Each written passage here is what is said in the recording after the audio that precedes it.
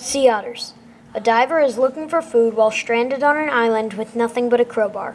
He is diving down to try to get an abalone snail. He dives down and tries to use the, his crowbar to peel the snail off the rock. He is running out of breath. As he is swimming away, he sees a sea otter dive down and peel the same snail off with ease. Why can they do that?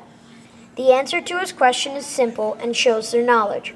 When an otter dives, it uses a rock to hit the abalone snail and dislodge it from the rock it is clinging to.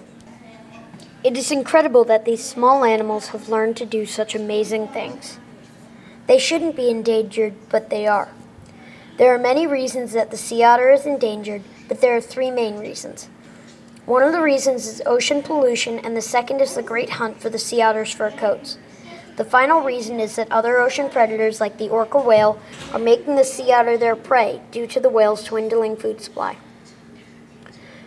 Ocean pollution.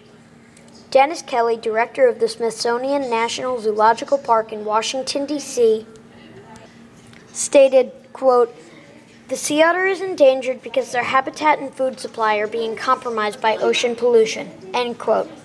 The reason we know that they are endangered for that reason is because there is evidence that their food supply has been killed from ocean pollution, therefore starting a chain reaction. Ocean predators. The last reason that sea otter is endangered is that other ocean predators, like the orca whale, are hunting them just after the Great Hunt, a Native American hunt for the sea otter's precious fur. The reason that other ocean mammals are now hunting the sea otter is that they have to hunt them to stay alive due to short supply of seals and sea lions in the North Pacific. Save these precious creatures. The sea otter needs to be saved to help safety on the beaches of the western coast.